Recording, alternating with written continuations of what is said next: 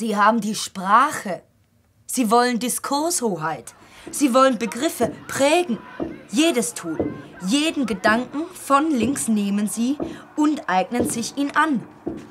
Freiheit, Heimat, subversiv, Anti-Establishment, Denken, Aufklärung, aktivistisch. Sie kapern die ganze Sprache. Das stimmt nicht.